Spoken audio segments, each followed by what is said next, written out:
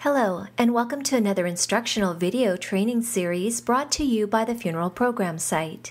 In this video, we will demonstrate how to create a photo collage using Microsoft Word 2007 or 2010.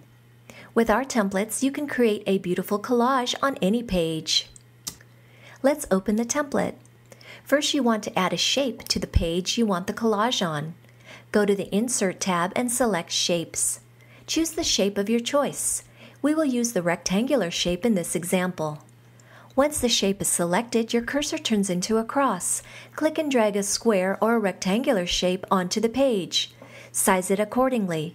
The shape will automatically be selected by the tiny blue squares around its perimeter. You can create a row of shapes and place them up against each other to create a photo collage wall.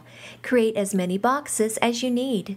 After you've finished creating the shapes on the page, it's time to insert your photos. To do that, select one of the photo boxes you've created. Go to the Format tab and select Shape Fill, which is the icon that looks like a little paint bucket spilling paint. Choose Picture from the pull-down menu. Find your photo on your computer and click Open from the pop-up window. Your photo will now fill the shape. You can move and stretch the shape to get the proper dimensions of your photo. To remove the border around the photo, with the photo selected, simply go to the Format tab and select Shape Outline and click on the No Outline option. That's how easy it is to create a photo collage within any of our templates. Thank you for watching. Don't forget to subscribe to our channel for more upcoming free how-to videos using Microsoft Word, OpenOffice, Publisher, and Apple iWork pages.